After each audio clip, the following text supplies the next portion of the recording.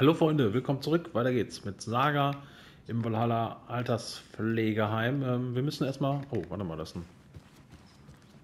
Aha. Du grast jetzt auf grüneren Weiden. Jawohl, hab einen Speicherpunkt gefunden, nämlich.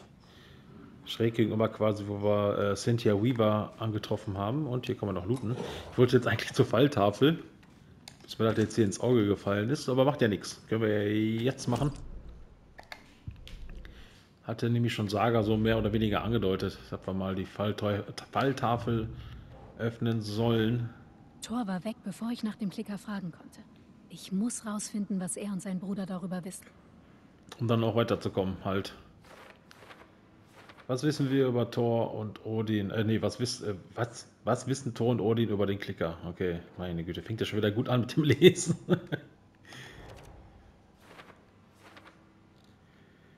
Äh, ja, ach, die ganzen Bewohner jetzt sind, werden hier in die Einzelteile zerlegt. Aufgebröselt. Du kommst dahin, da kommst du nicht hin, kommst du dahin. Tor, Schlafzimmer. So wurde zerstört, äh, verwüstet, zerstört. Ist nur noch ein Krater übrig.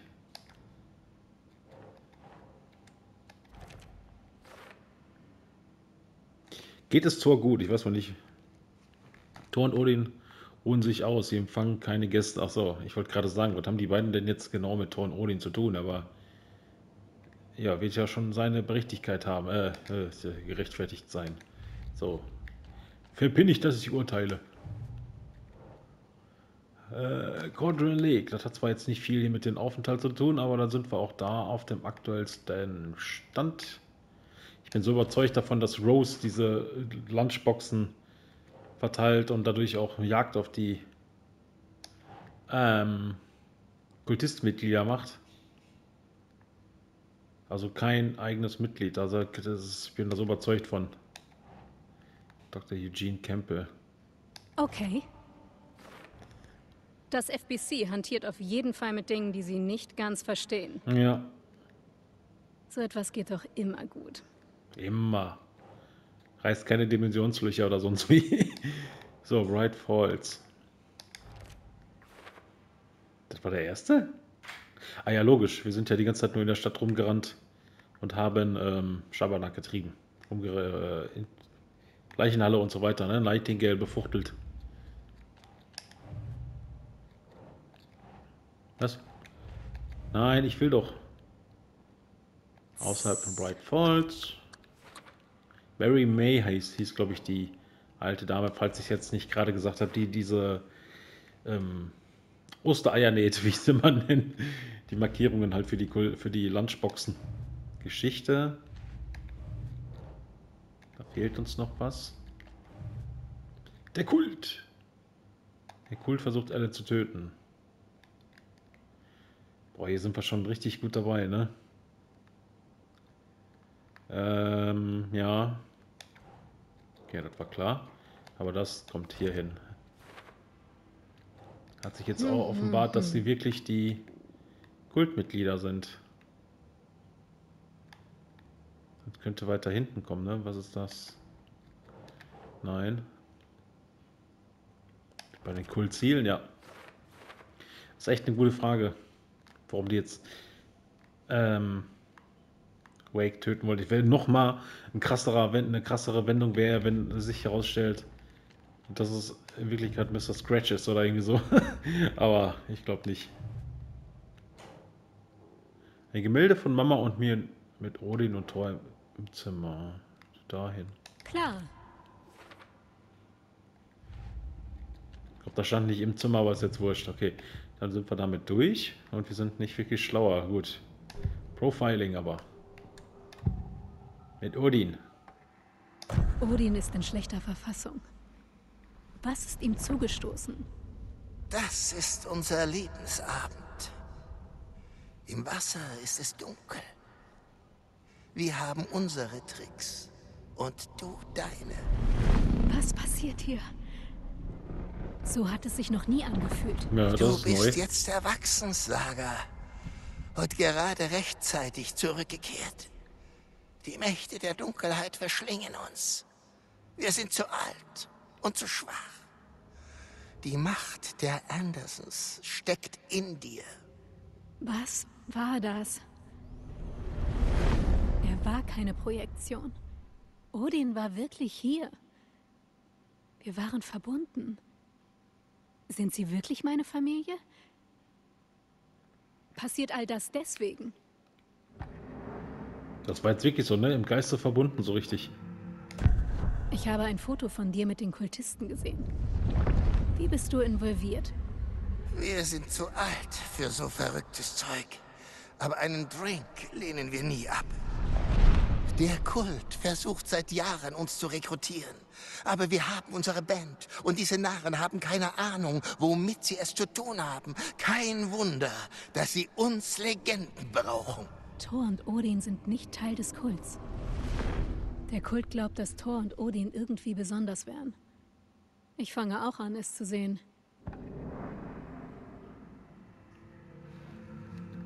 Unsere Verbindung. Ich war in meinem Gedankenraum noch nie mit jemandem so verbunden. Wie ist das möglich? Ich war froh, deinem Ruf zu folgen. Wikinger sind geborene Reisende. Du bist ein Seher. Du siehst die Wahrheit. Aber dein Großvater wird dir mehr erzählen wollen. Das äh, möchte ich ihm nicht nehmen. Thor ist in Gefahr. Du kannst ihn retten. Ist mein Gedankenraum mehr als nur eine Mentaltechnik? Manchmal verwirrt mein Gedankenraum sogar mich. Ist das der Grund? Steckt da mehr dahinter als Intuition? Eins nach dem anderen. Thor ist in Schwierigkeiten. Wenn ich ihm helfe, verrät er mir vielleicht mehr. Ja. Sie sagten, Thor sei in Gefahr. Was ist los? Die Dunkelheit zieht den Funken an. Thor denkt nur mit seinem Hammer, nicht mit dem Kopf. Der verdammte Prinz der Dunkelheit kehrt zurück. Thor wurde von der Dunkelheit markiert. Ich spüre es. Ich stehe in seinem Zimmer. Sie will ihn holen. Und dann mich. Nimm dich vor Cynthia in Acht. Im Wellness Center passieren schlimme Dinge. Lass dich zu, dass sie ihn übermannt, Saga. Verweist Prinz der Dunkelheit auf Scratch. Wird Thor zum Besessenen? Ich muss ihn finden, ehe es zu spät ist. Es stoppen, ehe mehr Menschen verletzt werden. Das wird sicherlich Scratch sein. Ich habe Wax Clicker gefunden. Was kannst du mir darüber sagen? Stammt von Toms Lampe. Er wurde ans Ufer gespült. Gute Arbeit. Du hast den Lichtschalter. Der ist wie ein Verstärker. Man kann zwar ohne einen rocken, aber man wird damit niemanden umhauen.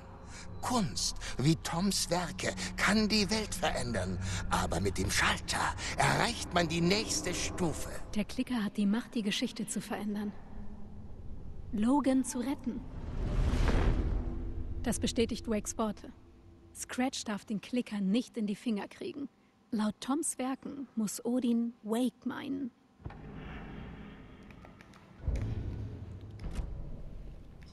Okay.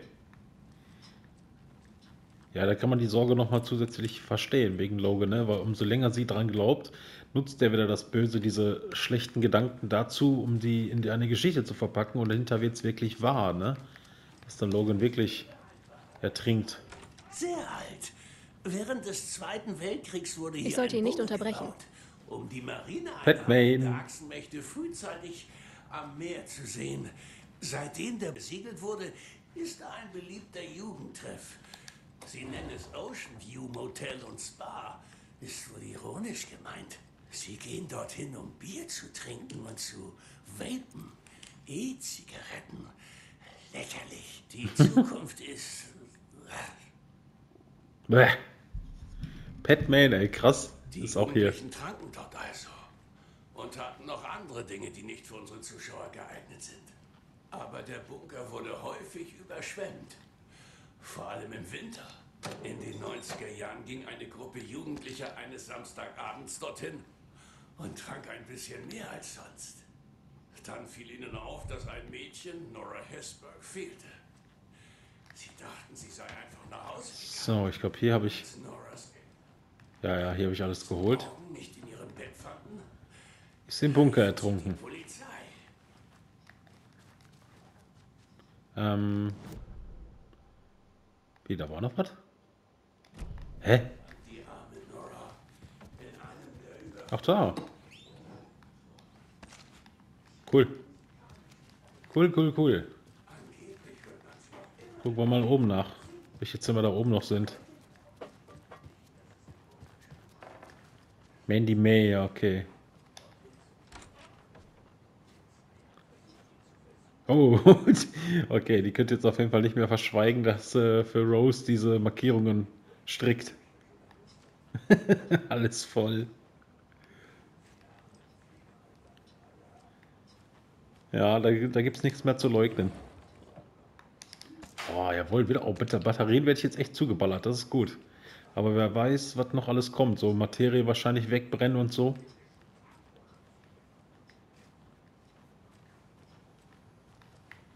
Oh, hier ist echt viel zu looten, aber. Na gut, zwischendurch auch mal der leere Schublade. Norman. Wer ist denn Norman nochmal? Ach, wahrscheinlich der mit dem Handtuch, der Saunagänger, ne? Ich denke mal schon, ja sicher, doch, doch, doch, doch. Jetzt wieder ein Fernsehen, vielleicht geht gleich eine Werbung an. Der Ende für Schmuddelhefte. Ne, Trends and Style, okay. Ist er fein raus, doch kein Schmuddelheft.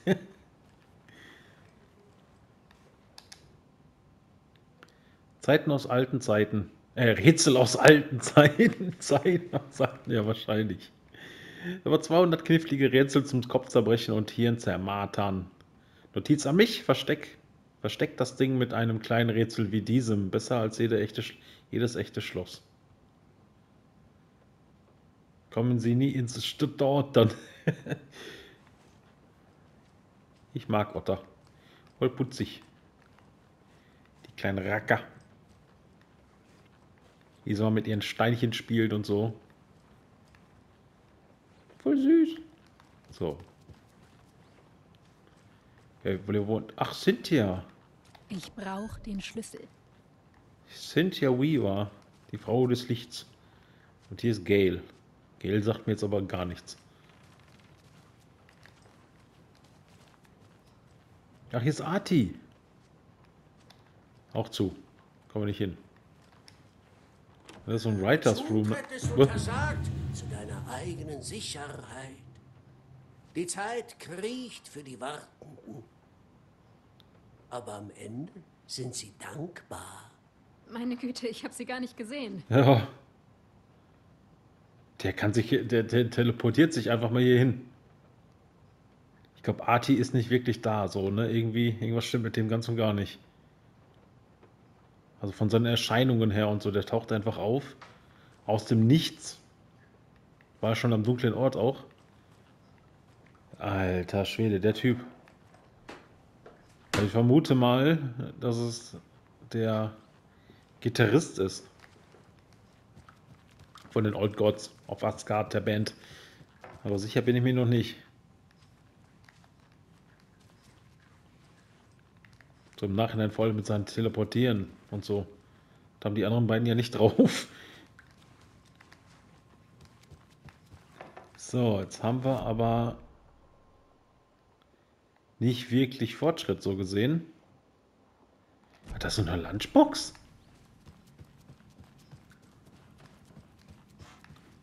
Warte mal. Warte, warte, warte. Wo war denn das blöde Büro? Direkt am Eingang. Ja, da, da bin ich mir auch sicher mittlerweile. Das ist Rose Büro. Das ist kein Zweifel. Langsam mehr. Echt kein Zweifel. So, ich glaube, damit habe ich jetzt auch mal wieder eine neue Stufe erreicht, oder? Ne, 5 habe ich gerade mal. Dauert noch etwas. Nochmal vielleicht mit Rose reden oder mit den beiden?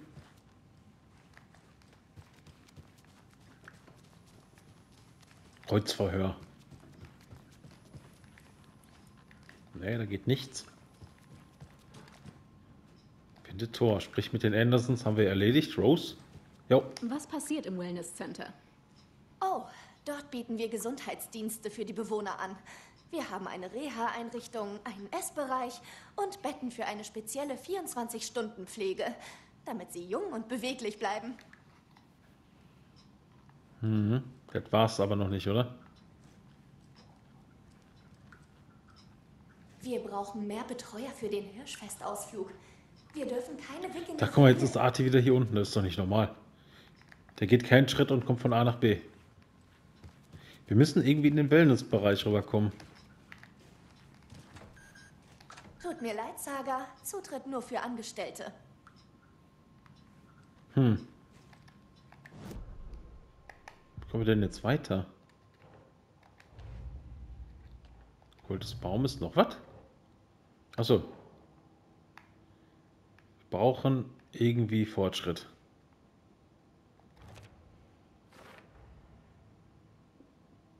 Beide bestätigt keine Kultmitglieder, ja. Das wissen wir jetzt. Ach, ich komme auf die Geschichte immer, das ist ja absolut unnötig. Lunchboxenpfleger in Bright Falls. Da. Ja, spätestens der Beweis, ne? Würde ich sagen.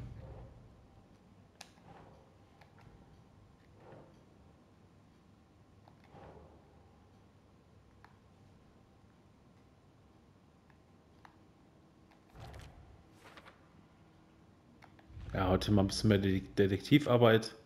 Gehört aber halt einfach dazu auch. versuch's weiter. Ach so. Hä?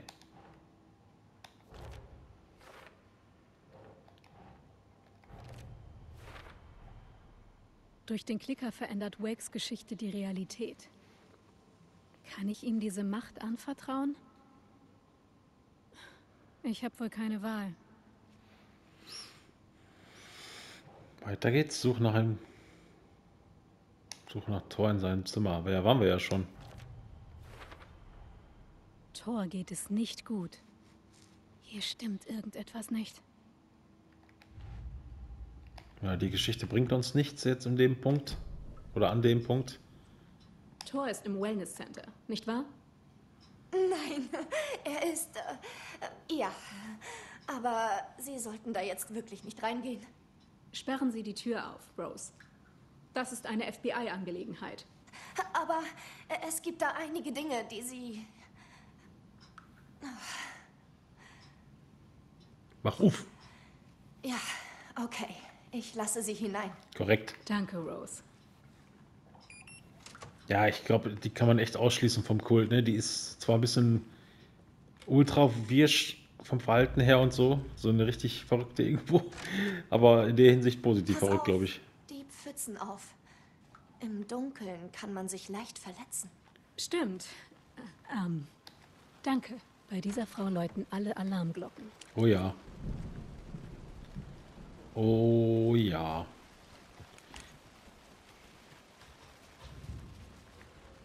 Oh, da nenne ich mal einen Service.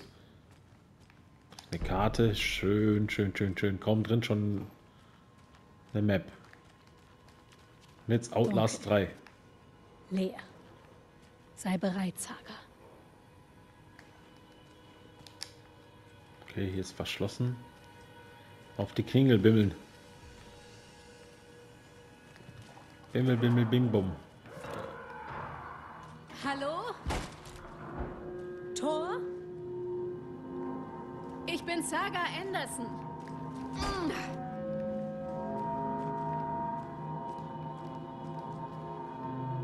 Oh, direkt. Direkt einpacken. Oh, gar nichts drin.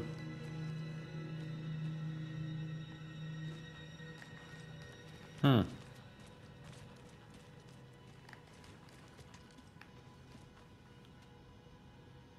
Da was bewegt?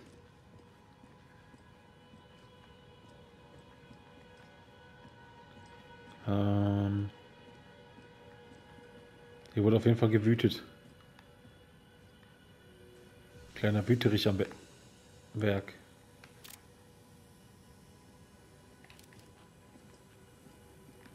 Da mal, da war was zum Lesen.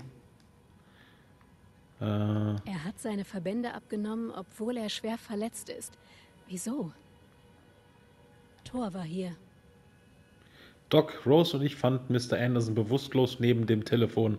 Verbrennungen an der Hand, Schnittwunde am Kopf. Er war bewusstlos. Wir haben ihn hierher gebracht. Benimmt sich schon die ganze Woche seltsam. seltsam. Passt auf auf ihn. Er ist ein VIP.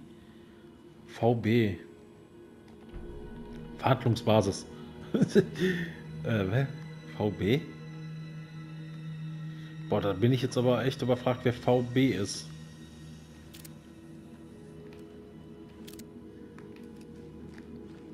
Sonst bin ich da eigentlich aktuell ziemlich fit so mit, Das geht von hier nicht auf. mit der Geschichte und mit den vorigen, vorherigen Ereignissen. So, vor allem, umso länger ich das spiele, umso mehr kommt mir alles wieder so ein bisschen hoch quasi. Aber äh, VB, boah, da stehe ich jetzt echt auf dem Schlauch. Valerie irgendwas oder Vincent Burton. Rehabilitation, schweres Wort für mich, komme ich gerade gar nicht drauf klar. ähm, und hier können wir speichern, sehr schön. Passt ja ganz gut. Wir looten, ohne zu bluten, hoho, der muss auch wieder sein, mittendrin statt nur dabei. Die blöden Sprüche meinerseits.